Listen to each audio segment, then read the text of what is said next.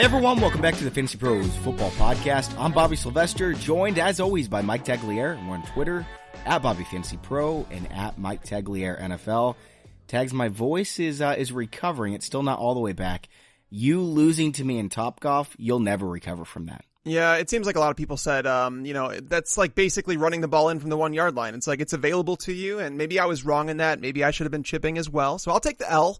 Here's the thing is, even if you were chipping, I still would have whooped you because I've played golf with you, and when you chip it, you like hit it into the woods behind the hole because you're a powerhouse. no, my short game is not uh, the strength of my game. I will say that. um, but uh, no, I'm taking a loss there. But fortunately, I don't have to dye my mustache blonde. So you're right about that, and uh, we're trying to figure out when that's going to happen. The mustache really isn't coming in as quickly as I expected, so it's looking a little embarrassing. Went to Walmart last night everyone was staring at me. I mean, they usually do, but in, uh, you know, a, b- a better way than what is that thing on your face? But we're getting there. You guys will all get to see when it gets dyed. Uh, I'm going to go into public with a blonde mustache. So hopefully y'all enjoy that. It's going to be on our YouTube channel at youtube.com slash fantasy pro. So you can check that out. Tags, here's what we have planned for today's show, and I really like this. We've never done anything like this before. So the NFL draft is over, and um, you know people are going to be starting their dynasty rookie mock drafts. we figured we'd do some kind of mock. We didn't want to do it on on Draft Simulator just because you know it's only four or five rounds. How quick is that episode going to be? Like 12, 12 minutes, right? Tags. So yeah, yeah, we'd make like four picks and then we'd be done. That's right. So Tags and I are each going to make twelve picks here. And what we're going to do is I'm going to pick. Tags is going to pick. And then we're going to do the two next highest in ECR. ECR is expert consensus rankings. So we've got like 30 experts who have changed their dynasty rookie rankings since the draft ended. And that gives us a consensus, an expert consensus. So we'll take the top two and then we'll go back again and we'll make some picks. So Tags, let's just jump right into it, man. Do you want the first or second pick? I'll take the second pick. All right. So I'm going to go with N'Keal Harry then. And I think you probably would have gone with Josh Jacobs um, so you knew he would drop anyway. So you're going to get the second and third pick, or would you have gone with Harry? I would not have gone with Harry. I wish I would have taken the third pick now because I have Josh Jacobs and David Montgomery as my one and two. I mean, I understand that because they're going to contribute right away. I think Harry will as well. He's more raw than those guys are. He's a wide receiver, but playing with Brady for a couple years is going to be helpful. They don't have much competition in New England. I just like wide receivers more because their lifespan is more than three or four years at best for a running back. You know, every once in a while you get one of these guys who plays six or seven, but you know, I would expect Jacobs to have three good years, Montgomery to have three good years. Harry's probably going to be good for seven or eight years. Well, that's the crazy thing is that so N'Keal Harry, like I wasn't a huge, huge fan before the draft, and I know that a lot of people are talking about him being the one one, and I understand it, but wide receivers technically, like they usually don't just walk into the, the league and produce right away, and so it usually takes, you know, it's like a learning curve. There's a, there's a reason they call it third year wide receivers because they typically break out at that age. So if Tom Brady is ending his career while N'Keal Harry is supposed to be blooming and blossoming, we don't know who the quarterback's going to be. We, do we think it's Jarrett Stidham. I don't know if that if he's the long term answer or not. But N'Keal Harry, he doesn't come without question marks. So with those one and two picks, I want someone who is locked in to be on the field, provided he's not hurt. Someone that's going to produce. And Josh Jacobs uh, and and David Montgomery, those guys you could flip flop them whatever you want. But I'm going to go with Josh Jacobs at number two with Isaiah Crowell, you know, being out for the season, I don't know if y'all heard that he tore his Achilles. His career is probably over at this point. He'll probably try to return. It's not going to happen, I would imagine. Josh Jacobs is suddenly a high third round pick in redraft leagues. N'Keal Harry, we're probably looking at what ninth, tenth round. Yeah, I, I, think some people will reach for him just because they, they believe that rookies produce more often. But I, I did an article on this that said what are rookies worth in fantasy football and wide receivers? They always go higher than they should uh, in terms of their rookie year production. So I mean, there's outliers here and there, but I just don't think N'Keal Harry is that guy. Yeah. Okay. That's totally fair. And, you know, I would say this, if your league is not deeper, if you're not starting three running backs, four wide receivers, two flex, I agree. I would go with Jacobs, but most of the dynasty leagues I play in are that deep because it's more skill. And I would rather have someone like Harry, who I think will be a fantasy starter for more than a handful of seasons. With that said, if this was a super flex draft, tags, I'd be taking Kyler Murray 1-1 without a doubt. Are you with me? Yeah, I am with you on that one. Uh, he basically isn't going to have competition for that job, and I know Kingsbury came out today and said that you know he'll compete for the starting job, which is a bunch of crap. It's just stupid. I hate coach speak, man. Can they just tell us the truth? Yeah, they moved on from Josh Rosen. They can't do the same thing again with Kyler Murray. So even if he doesn't pan out, and even if he's a bust, they're not going to draft a quarterback next year. So you're going to get two years out of Kyler Murray minimum uh, in a super flex, and he's going to add rushing totals. Like we saw Lamar Jackson last year. He wasn't a good quarterback in terms of like passing the ball, but he put up enough fantasy points. So in a two quarterback league, yeah, I would take Kyler Murray probably as the one one. Yeah, um, Lamar Jackson, by the way, he had seven starts. How many rushing yards did he have? 700? Ridiculous. Uh, Kyler Murray, I think, is a better runner than, uh, than Lamar Jackson. I'm not saying he's going to have a thousand rushing yards, but 700? Yeah, I think that's a lock. I think it's possible. Like, I think, I think I would lock him in if he played all 16 games for 600 at least. And that's obviously something that's good for fantasy. So. Yep. All right. So ECR takes Miles Sanders at number three. David Montgomery at number four, and that brings me up. And the top players on the board: DK Metcalf, AJ Brown, Parris Campbell, Marquise Brown, who's not going to play very much this year, I would imagine. Deebo Samuel, um, those are the only ones I would actually consider, but this one's easy for me because Parris Campbell's my number three in my rankings for dynasty rookie drafts. I just see him coming into Indianapolis, not having too much in the way of competition, and Andrew Luck is going to get his fantasy points. You better believe if they spend a second round pick on Parris Campbell, he's going to be involved early and for a long time. Yeah, looking at the draft boards and like seeing the wide receivers that were available last year when the Colts had three second round picks, and then looking at this year when they had all these picks, it's like, uh, you know, we heard that the scouts liked Parris Campbell an awful lot and that Frank Reich loved him. He was so excited when they got Campbell in the draft. I don't know if you saw the video. I did. I did see the video. And that's the thing. Parris Campbell, I believe that he's going to be a fantastic fit in that offense. I think with his 4-3 speed and T.Y. Hilton on the field at the same time, it creates massive problems for a defense. So it's, it's tough to figure it out just because you have the tight ends over the middle of the field who Andrew Luck has like really leaned on throughout his career but now that you have Campbell, a guy that's like a weapon after the catch, it's like they're going to be using on some underneath stuff and he's going to run after the catch. So I like Parris Campbell, but unfortunately, he's not the number one option in his offense. And, you know, when you get in the red zone, he's, he's probably the number three or four behind Eric Ebron and Devin Funchess. For now, we'll see. Eventually, T.Y. Hilton's going to go away. And I think Campbell surpasses him and becomes Andrew Luck's number one into Andrew Luck's 30s. And assuming he can stay healthy, a lot of quarterbacks play better into their 30s. Someone asked me before the, the NFL draft, who is going to be my 1-1? I said, well, it kind of depends on landing spot, right? I would say probably whoever the Colts take at wide receiver in the second round. And I was thinking it was going to be N'Keal Harry or DK Metcalf, AJ Brown. Turns out it's Parris Campbell, so he's not my 1-1, but this is a perfect landing spot, and I've got him 1-3. So who are you taking? Metcalf, Brown, Brown? Hockenson? I'm good with that pick, but I'm going to go with the next guy on my board that you passed over, and that's DK Metcalf. And, uh, you know, his slide in the NFL draft actually helped his fantasy stock because there's a lot of teams that he could have gone to that would have been, you know, a negative for. I mean, I wouldn't have liked him going to Baltimore, uh, but going to Seattle to play with Russell Wilson, this was one I had to like think about because, you know, when he fell in the draft, it's like, okay, I should lower him because NFL teams were obviously lower than the fantasy analysts or draft analysts were on DK Metcalf. But going to play with Russell Wilson, finding out about Doug Baldwin potentially not playing another down in the NFL, Tyler Lockett, you know, he's he's a little dude. Uh, he's not going to see 120 targets in a season. You know, even though he was efficient last year, he's just not that guy. Well, he's also his touchdown efficiency is going to go way down. There's no chance it stays up. Oh, 100%. That's like the easiest thing to predict this year. But DK Metcalf, you know, he comes into the NFL a little bit raw. He's not a, a, polished wide receiver, but that's fine. He's the only one on that roster right now that presents number one wide receiver upside. And when you're playing with someone like Russell Wilson, you know, they, they're, they're moving into the second year in the offense and you're going to slowly see those pass attempts increase over years. I do this article every single year talking about what does, what do coaching changes mean for fantasy players? And when you have a head coach and an offensive coordinator in place, you know, they remain in place.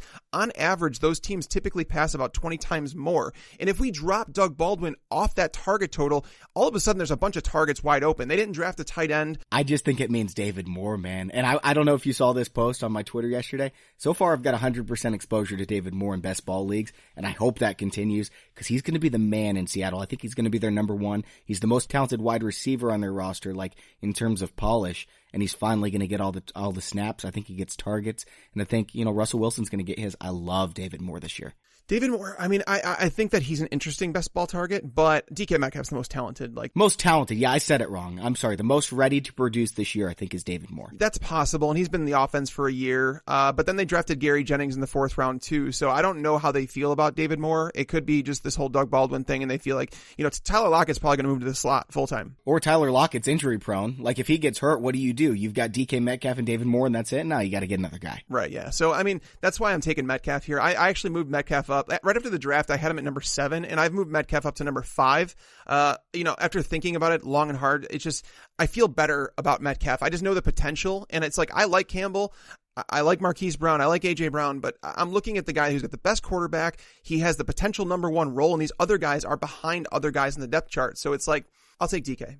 A week ago, DK Metcalf was number one on dynasty rankings, right? So this, I don't have a problem with this pick whatsoever. If Parris Campbell wasn't there, I would have taken Metcalf. ECR is going to go ahead and take the Brown boys, AJ Brown and Marquise Brown. So that moves us on to pick number nine, which I have Deebo Samuel, TJ Hockenson, Noah Fant.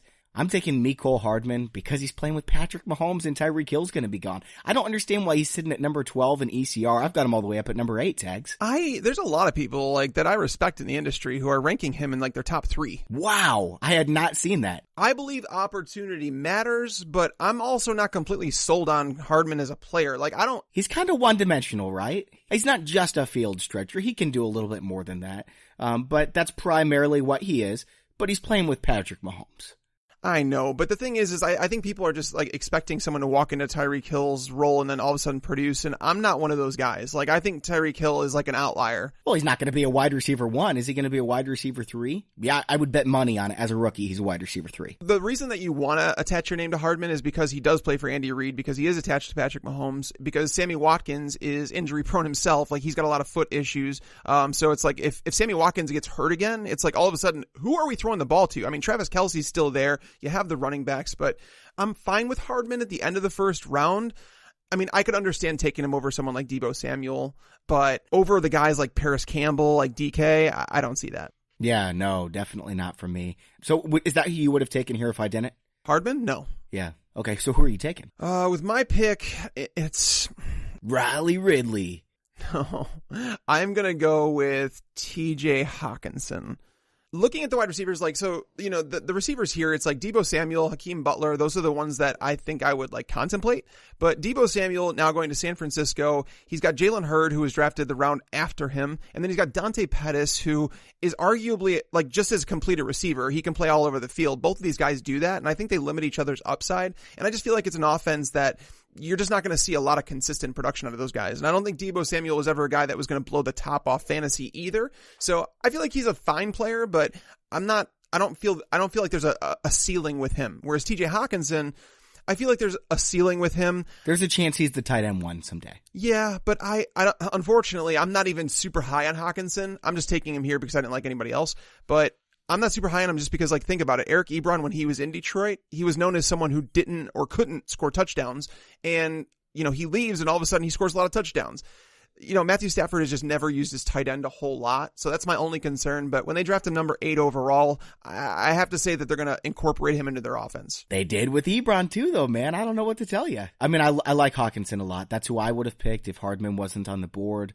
Um, and so ECR right now, they're going to take Deebo Samuel and they're going to take Noah Fant, which moves us on to number 13, um, which on the board is Hakeem Butler, JJ Arcega Whiteside, Kyler Murray, Darrell Henderson. And if, if Darrell Henderson wasn't there, I would reach here for Irv Smith Jr. because I don't think he's going to be that much worse. I mean, he's not going to play right away with Kyle Rudolph there. He's going to be on the field some, probably a little more than Dallas Goedert, maybe not get all the touchdowns that Goedert got as a rookie. So he's not going to be super useful right away. But when Kyle Rudolph's gone, I think Irv Smith Jr. is as crafted for fantasy football as TJ Hockenson is. So I wouldn't mind taking him whatsoever with pick 12. That's where I've got him in my rankings. I do have Darrell Henderson a little bit higher though. Um, you know, if they're drafting him this high, they've got to be worried about Todd Gurley. And I get it. Malcolm Brown is still there as well. Who knows if Henderson's the direct backup, but there is a huge upside with Darrell Henderson. I would say maybe more than anybody else in the draft. Would you say that that's fair just because they've got Sean McVay and Darrell Henderson becomes a workhorse in Sean McVay's offense? He's going to be a top five fantasy football player. And I'm looking up at the draft. N'Keal Harry, never going to be top five. Josh Jacobs, uh, probably not in Oakland. I'm, I'm not seeing that. David Montgomery, nah. Miles Sanders, DK Metcalf. I guess Metcalf has that type of upside, but more than anyone, I think it's Darrell Henderson. Darrell Henderson was an interesting pick for me. Uh, I, I, didn't like the pick necessarily, but it might tell us something about Todd Gurley that we don't know. But trading up in the third round and taking him at the, at the top of the third round at that, it strikes me as odd because Henderson is not the type of running back that I thought that Sean McVay would like. I mean, he can catch passes, he can be a workhorse, even though he's a little bit smaller, but he's a very, you know, uh, feast or famine running back, like an all or nothing. And that's, that's just really weird. I thought that McVay would want someone who's like, you know, someone who's a bit more downhill, you know what you're getting every single play, like Todd Gurley. And Henderson, I don't feel like is that. I don't know what they're doing in LA right now. You know, the whole matching an offer sheet for Malcolm Brown, you know, Todd Gurley, you know, walking with a limp on TMZ videos. Like, I don't know what to believe right now, but if we're reading in between the tea leaves here and the fact that they traded up to take Darrell Henderson, he's probably one of the best handcuffs in all of fantasy football. But that's what exactly what he is though. And so I just want to say this, Bobby. I, I'm okay with this pick because you're picking for the, the number 13 overall pick in our draft. And that means it is the team who had the first overall pick. And that means you're a team that's probably not competing right now, so you're building for the future. So I'm I'm I'm okay with that pick because you're not necessarily looking for someone that's going to contribute to your team like right now because you're probably a couple years away from contending. You're right. And I don't know what the Rams are doing, but I know that I'm buying a lottery ticket because Henderson has all that upside. Um, I'm excited to see what happens. You know, I wrote recently in uh, an article on betting pros. If you guys haven't seen betting pros yet, all these sports books are starting to, uh, you know, develop in New Jersey and they're figuring out Pennsylvania, West Virginia. It's coming. Um, so you guys can check out bettingpros.com. We're talking about all these sites and everything like that. And I wrote up a spot in a featured pros article where it was asking, you know, who would you bet on for rookie of the year?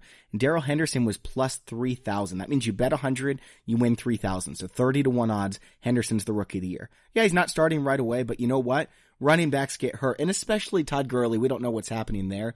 The average running back has like a one in three chance of getting hurt for a three game uh, stretch throughout the year, and you would assume Gurley's quite a bit higher. So, you know, if it was, if you were to say Todd Gurley has a one in 30 chance of going down for the year, and then Darrell Henderson would fill in. Henderson would be the rookie of the year. I don't even think it's even close. So that's the bet I'm making. That's, I mean, it's interesting. I, I just don't know where Malcolm Brown fits in. If he's like the guy that they would ask to fill that role, um, just because they retained him. Kind of like Justin Jackson in Los Angeles for last year, right? We were so excited about him, and then Austin Ekeler got all the carries. Yeah, he did for a week, and then they realized eh, he's probably not fit for that job. And then you know Justin Jackson looked better doing it. So yeah. All right, so who are you taking? I'm going to take the number 10 player on my board, and that is Hakeem Butler. Interesting. I've got him down at 18, man. I'm excited to hear what you have to say here. I yeah, I have him over Andy Isabella, and I know Isabella was taken two rounds before Hakeem Butler, and he's on the same exact team. I understand that, but I think it's about the player and like what the potential is with him. Like, I don't think either of these guys are like guaranteed studs. I don't think that you know you could lock him in and say, oh, these guys are going to be on my team forever. I'm looking for the upside player, and when I looked at the Cardinals roster this offseason, I I figured they'd be drafting a wide receiver, but not one like Andy Isabella because I felt like once Larry Fitzgerald retires, that it would make sense for Christian Kirk to go in the slot. It's not to say that he cannot play on the perimeter, but I feel like he's more of like a Golden Tate wide receiver. And Golden Tate, as you know, started his career on the perimeter mixed into the slot. I felt like that was going to happen. And now it's like Isabella, he can play on the perimeter too, but ideally you put him in the slot as a slippery guy that is just difficult for cornerbacks to keep up with or linebackers. You create mismatches. I wanted a perimeter wide receiver, a big body guy, a potential X receiver for the Arizona Cardinals. And I think Hakeem Butler is that guy. You know, we all know that he's only got one year of production in college and that that's basically the red flag on him. But he is one of the best ball trackers I have ever seen coming out of college. I feel like he's very well aware of his body. He knows how to time a ball. He knows how to track a ball over his shoulder. And in this vertical offense, if there's one player in this in this team that I can see after Larry Fitzgerald leaves being that, you know, that prototypical number one receiver, I think it's Akeem Butler. Again, he is not a locked in stud. Don't draft him and think that, oh my God, Mike Tagliere said that he's going to be this. I didn't say that. What I'm saying is that he has the potential to become that player. And Cliff Kingsbury, I thought it was a, it, it was hilarious. Kingsbury passed him up in Texas Tech. Like, uh, so Hakeem Butler didn't receive an offer from them. And so uh, Kingsbury called Hakeem Butler and said, I'm not going to make the same mistake twice. We're taking you with this pick. And it's like, well, you made the mistake because you passed on him for the first three rounds. Yeah, yeah. Um, but still, uh, he did wind up on the team and Hakeem Butler is, um, I think he's a steal. Like if you can get him at the, the beginning of the second round you know, Butler's number 13 ECR, so you had the better pick here according to the expert industry, but I'm really glad that you picked him because we're going to be doing a vote on Twitter. Again, we're at Bobby Fantasy Pro, at Mike Tagliere NFL, and you're going to tell us who has the best team. We'll break down our teams at the end here. And since Tags picked Hakeem Butler, I feel like I'm running away with this now because Henderson's the better pick, baby. Nah, I'll take Butler. I mean, I, I feel like running backup running backs. I mean, we were talking about John Kelly last year as a guy that could potentially now he might be cut from the roster. So it's like the backup running backs. They didn't trade up for him in the third round. I'm okay with backup running backs in the middle end of the second round. But around here, it's like if I could find a receiver that could potentially be that game changer, like Hakeem Butler, I'm taking him all day. All right, man. So ECR is taking JJ Arcega Whiteside and then Kyler Murray. That brings us up to pick 17. I already told you who I'm picking because he's still there. It's Irv Smith Jr. I think he's just a notch behind Hockenson in terms of fantasy, and I've got him ahead of Noah Fant. Um, now the landing spot is not ideal in Minnesota, so I bumped him behind Fant.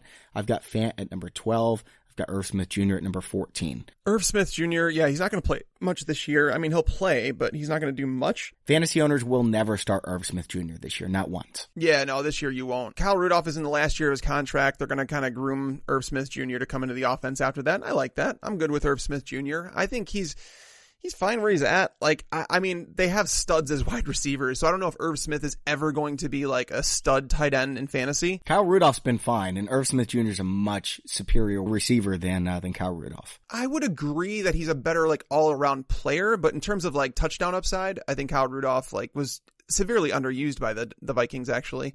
Um, but yeah, I'm I'm not opposed to this pick. I feel like in the second round is where you kind of got to get your guys, and if you like Irv Smith a lot, grab him. All right, so who you going with? Andy Isabella, so you can load up on Arizona Cardinals wide receivers. Oddly enough, I am going to take Andy Isabella. He's actually right behind Butler on my on my board. So, like I mentioned, I don't think that he's like a number one receiver. I don't think I can find one of those guys on the board right now that that has that upside. Uh, so I'm going to take Isabella, who I compared to uh, Tyler Lockett. I think that that's the type of player I can see him as, uh, someone that can stretch the field, probably going to max out around 90 targets, like in a best case scenario, maybe 100, but he's never going to be a 120 target guy. But he can give you those big weeks from time to time. Hopefully you find, you know, lightning in a bottle. And if you get Lockett, then you can kind of like, hopefully, I would trade someone like that away. Like, I think Lockett's stock is as high as it's going to be right now.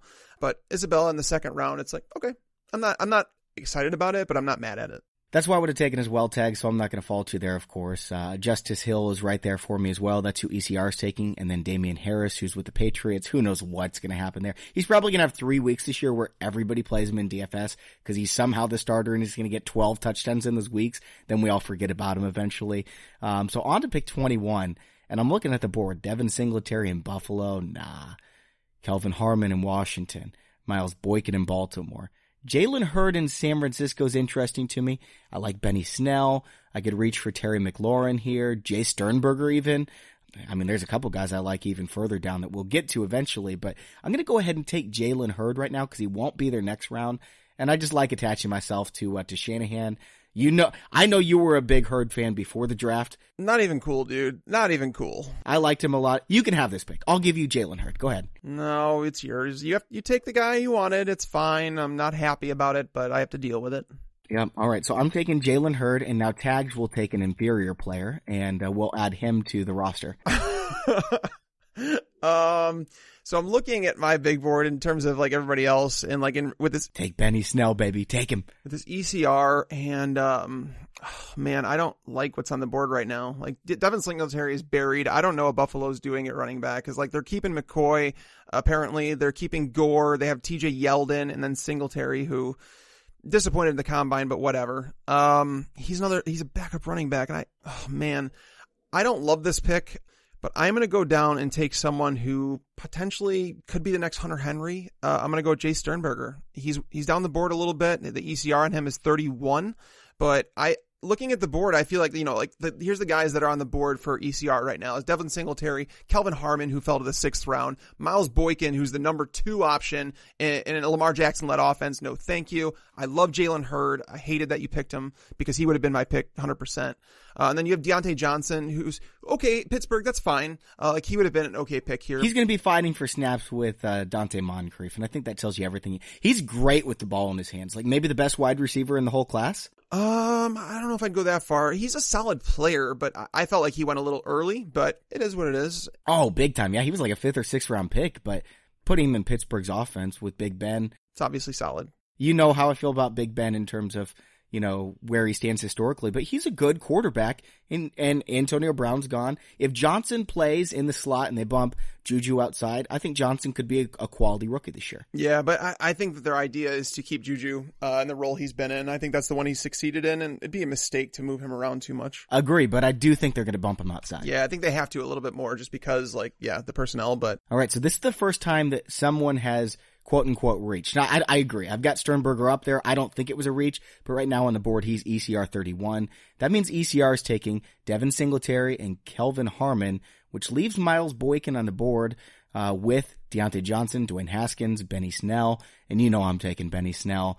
Uh, I, first of all, I like him. I think that he can be a workhorse in this league. He's the backup. I get it. But he's the backup in an offense where backups have dominated, right? I mean, last year, James Conner, who knew if he was talented? Who knows if he really is all that talented? You do watch him play and he's, he's a good football player and everything, but it's the offense. It will always be the offense. And I want whoever's going to be in this offense, especially a guy that I like, Benny Snell. I get it. He's slow, but if he gets 20 touches a game, I'll take him. Yeah, Benny Snell, uh, he went before I thought he was going to. And, you know, when a team drafts him in the fourth round, it obviously says that they value him. So, I mean, he, he moved up my board from when, basically, from when I had my pre draft rankings to afterward. Uh, knowing he landed in Pittsburgh, knowing they drafted him in the fourth round, he moved up. Um, I'm not a huge fan of him, but he is a workhorse potentially if James Conner goes down. All right, so who are you going with? Uh, it's not Miles Boykin. Um, I'm going to pass on him again. Looking at my board, it's like I'm trying to debate whether or not I can get the player I want if I wait or just taking him here. You know what? Let's take Diontae Johnson. Uh, you know, you know, when we talk about the upside of some players, I'm going to go with him just because I know he won't be their next pick, and I think that there's another guy I might be able to get with my next one. Sure. Okay. I'm interested to see who that is. Hopefully I can snipe you on him. Uh, ECR is going to go ahead and take Miles Boykin and Dwayne Haskins, so we don't have to worry about that. If it was Superflex, I would have taken Haskins, what, fourth, fifth overall? I mean, I, I have him behind Harry, Jacobs, Montgomery, and Parris Campbell. Yeah, and then you have Kyler Murray who would bump him back further, and then Metcalf yeah, I mean, I'd probably put him at six or seven, I think, maybe after thinking about and it. And the other quarterbacks, where would you take them? Like 14, 15? Not in the first round, right? I think Daniel Jones deserves consideration because he's going to be like, they're, they're going with him. You know, they're obviously sold on him. They're going to give him a long leash. Uh, I don't know if he starts this year. I think he does at some point. I think they have to. Um, but he's someone that deserves consideration, but I think he's more of like a second rounder. All right. So we are to pick 29. Rodney Anderson's on the board, Bryce Love, Riley Ridley. Uh, Terry McLaurin is still there, so that's definitely who I'm taking. I've got him like in my teens. I don't know why he's ECR 32, but this is a really talented wide receiver with a great head on his shoulders. Uh, not much competition in Washington. I saw somebody very respected in the industry. I wish I remembered who it was.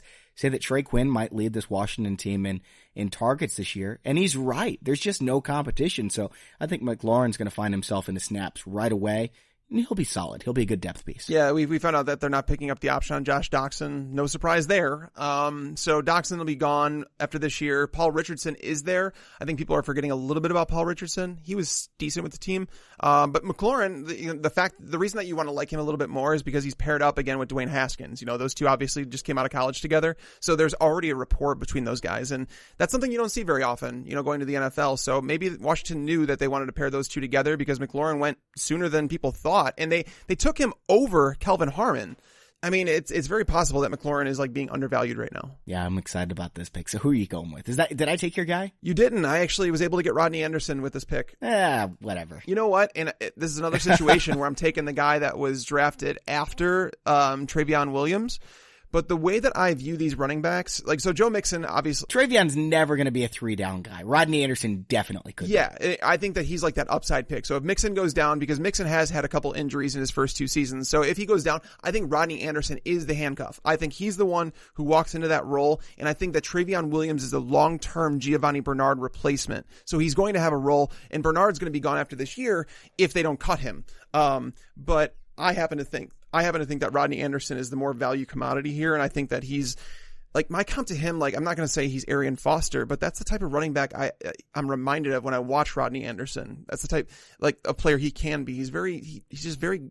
He, he, I don't know. He just doesn't, he's not moving like fast all the time, but he just, he's very smooth in his movements and he's not afraid of contact, but he's always hurt. That's the downside. So, um, there's pros and cons with him, but getting him here, you know, at the end of the second round, I'm fine with. You know, a lot of people are going to hear that and they're going to say, come on, you can't compare someone like that to Rodney Anderson. Guys, how many times have we seen like a, you know, a fifth, sixth round pick? Arian Foster was undrafted. How many times have we seen these guys become superstars? It's just the type of runner you are, the opportunity you get, the scheme that you're in. People become better This is a good, Rodney Anderson's a good athlete. If he gets in the right situation in Cincinnati, they build up their offensive line. Absolutely, he's got upside, and he's got more upside than someone like Trayveon Williams, who's limited in what he can accomplish. Yep, I am right there with you. Um, yes. All right, man. Bryce Love, Riley Ridley are now off the board. ECR took them. We're to pick 33. Trayveon Williams is there. Drew Lock, Daniel Jones, Alexander Mattison.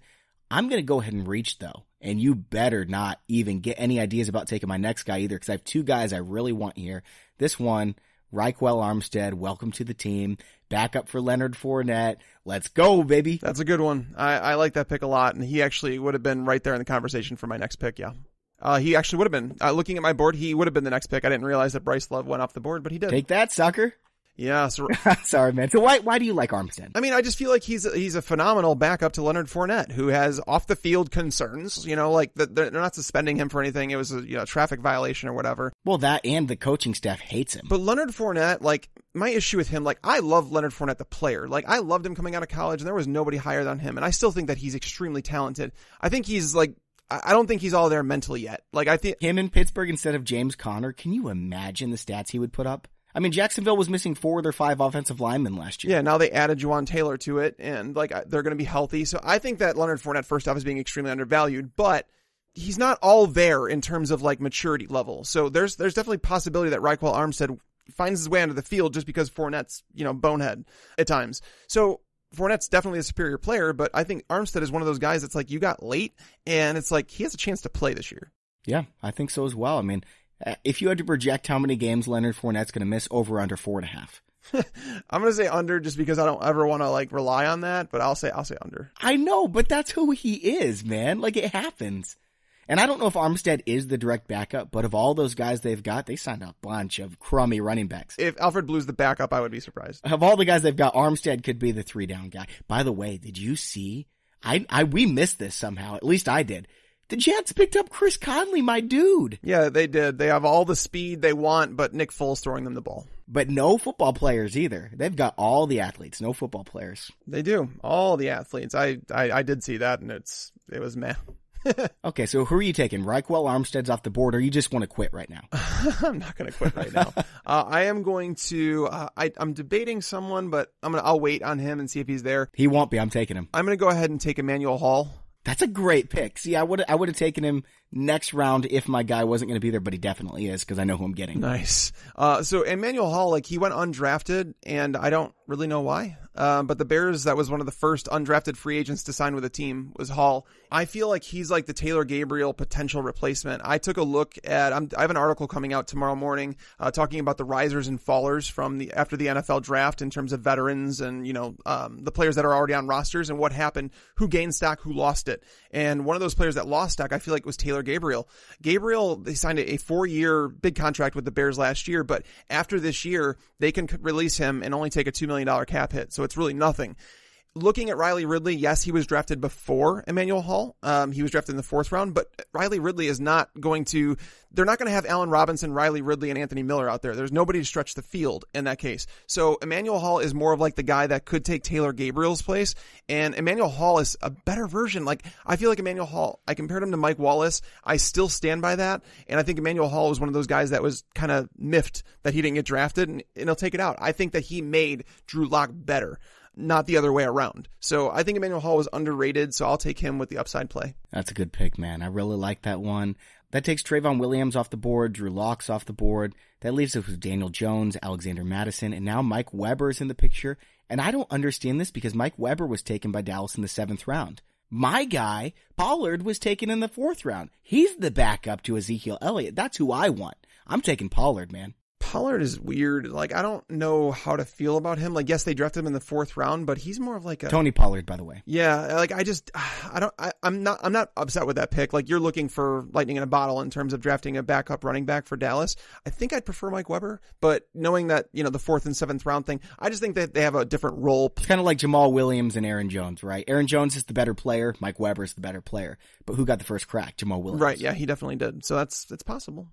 All right. So who are you going with? I'm going to take the guy that I thought about last round, and that's Alexander Mattison. Uh, the Vikings basically said, uh, we're not happy with the guys that we have behind Dalvin Cook, and we're going to take Mattison in the third round. That's before I thought he was going to go. A lot of people liked him in the draft process. And now Roc Thomas is in trouble, so maybe Mattison passes up uh, Mike Boone for the number two. Yeah, I think he does immediately. Drafting him in the third round, eh, that's a lot of equity. I mean, didn't they get Dalvin Cook in the second round? It just sucks because Mike Boone is the greatest football player alive, and he will never get a chance. Uh, no, I mean, I'm just looking at like a handcuff here, and it's a situation they upgraded their offensive line a little bit. Dalvin Cook has been, you know, dealing with injuries throughout his NFL career, so I think Mattison is one of the better handcuffs. Okay, so that leaves uh, Daniel Jones is taken. Uh, you took Mattison. Mike Weber is now off the board. Top guys on the board for me at the next round: Keesean Johnson, Darwin Thompson, Dexter Williams, Will Grier. You know what? I'm gonna go way down before you get the same idea. ECR number 72. I'm not trying to be cute. I'm taking the guy that's highest on my board. It's Alize Mack, tight end for the New Orleans Saints. Drew Brees loves tight ends. Alize Mack was a former number one tight end recruit uh, in high school, and he didn't really shine at Notre Dame. It's not the best offense for tight ends. You put him in Iowa, man, this guy has a first, he's a first round talent. He really is. We'll see what happens. He's a little bit raw, but I think eventually, uh, Drew Brees is probably going to play three or four more years with the way he's going. He just had maybe his best season of all time. If Alize Mack can get into this, uh, you know, the top of that depth chart next year, maybe by the end of the year with injuries, I think we're going to see just how athletic he is. Pretty crazy. Uh, ben Watson reportedly wants to come back. I guess we'll see. Jared Cook is not very good, so uh, that pick it was a little bit of a reach, but he's not he's not that far down my board from where we're at. I think I, I was just worried you were going to take him because I had to have. Him. I think I have like seven players still on my board ahead of him, but he's higher than the consensus. That's for sure. Yeah. All right. So who are you going with? Darwin Thompson is my pick here. Excellent receiving back out of the backfield for the Kansas City Chiefs. They didn't take him till late in the draft, so I don't think that he's like going to overtake Damien Williams or anything. But I mean, who cares? Who who cares what he can do, what his talent is, what his combat metrics were? Just say this: he plays in Andy Reid's offense, so he's got upside. There you go. And they drafted him. So it, yeah. if Damien Williams goes down, you know, whatever, I, I, Carlos Hyde is obviously still there, but we saw the same thing happen with Damien Williams. Damien Williams was considered a pass catching running back. And look at him now. Yep. Yep. You're right. All right, man. So, uh, Keesean Johnson's gone. And since you took Darwin Thompson, that means Dexter Williams is gone, which was gonna be my pick. And I'm mad at you. I mean, it doesn't matter. I'm still just absolutely whooping you. I just need to figure out who I want with my last pick now. Why don't you go ahead and make yours since you know who I want, and uh, and then we'll call it even since you got the first pick one round. Oh, let's see. Who do I want? That's still on the board. All right, you ran out of time. It's my pick. Okay. um, okay, let's see here. I don't think Will Grier has much upside. He's my QB five, but that's in superflex leagues. I think someone who has a chance to be an actual, not the QB one, but a QB one at some point in his career is Jarrett Stidham. We've talked about him before. Uh, he's going to be playing in Bill Belichick's offense. We've seen what's his name, Matt Cassel excel, winning 12, 13 games. I think that Bill Belichick is going to stay around after Brady retires and he's going to get his. So I'm going to take Stidham here with my 12th and final pick. Stidham's cool. I, am I'm not mad at that pick. I, I, I mean, I, I kind of like it. If you're in a super flex, he's like a guy that you could stick on your roster and hope that he sticks. Uh, maybe the next Garoppolo that people are like, oh, he's going to be the next one. Or blah. I'm just going to do what I do, and uh, I'm I'm going to take another player from the same team. I'm going to go with James Williams, running back from Kansas City. So basically, I have both running backs that they wound up on the roster. James Williams reminds me a lot of James White. Obviously, not as talented as James White, but uh, another pass catching running back that is just on the Kansas City depth chart. And getting him this late in the fourth round, I'm I'm fine with that. Like he's just a guy that I'll have my roster, and we'll see if he makes the team. Obviously, I'll keep him. Usually in fourth rounders, these are guys that might not even make the team. So somebody could argue and say Hunter Renfrow should be drafted here um, because he's going to probably start in a slot for the Raiders, but I'm just not a fan. Go for the upside. Go for that upside late in drafts. I like the call. Final picks in the draft. ECR takes Will Grier and then running back from Seattle, Travis Homer. So tags, let's share our teams. I think I missed one of your picks, so you'll have to fill me in on who I'm missing here. All right, so here's your team. Coach without a mustache. Josh Jacobs, DK Metcalf, TJ Hockenson, Hakeem Butler, Jace Sternberger, Diontae Johnson. It's looking good. I like your picks. Andy Isabella, that's a good one. Rodney Anderson, Alexander Mattison, Emmanuel Hall, Darwin Thompson, and James Williams. Tags, I like your draft a lot. Out of the four teams in this league, you're definitely going to be a solid second. Go ahead, rattle off your team. All right, here's my team. Top Golf Championship coach, N'Keal Harry, Parris Campbell, Mecole Hardman, Darrell Henderson, Irv Smith Jr., Jalen Hurd, Benny Snell, Terry McLaurin, Ryquell Armstead, Tony Pollard, Alize Mack, and Jarrett Stidham. I like mine better, obviously. no, there's players on yours that's like if, if something happens, if like an injury happens, I think your guys would, and I th- I felt like I took guys that might not require an injury to get there. Yeah, that that's just a difference in philosophy. I've got some upside guys. You've got guys who seem more fit to naturally fall into the depth chart over time. So we'll see how it plays out. Tags, this was a lot of fun. You guys can tell us what you think on Twitter at Bobby Fantasy Pro and at Mike Tagliere NFL. Let us know who won, even though we already know the answer, and we're going to put up a poll. Mike, this was fun, buddy. It was, dude. It was, it was, it was fun doing these rookie drafts. It's like, I know a lot of people in Dynasty are getting excited about these and this is the season, you know, in May and June where you're going to see a lot of rookie drafts. So, uh, if you do have any questions about what we did, you know, just like, like Bobby said, hit us up on Twitter. Yep. All right, guys. And we've got more episodes coming up. I think we're kicking it up to two episodes per week here pretty soon. But make sure to hit that subscribe button so you don't miss out on any future podcasts. Also, you can check out our YouTube channel again. It's youtube.com slash fantasy pros. You'll see me with an Antonio Brown golden mustache here in a little bit. For Mike Tagliere, I'm Bobby Sylvester. Thanks for listening. Enjoy your football. I just wanted you to watch me dissolve.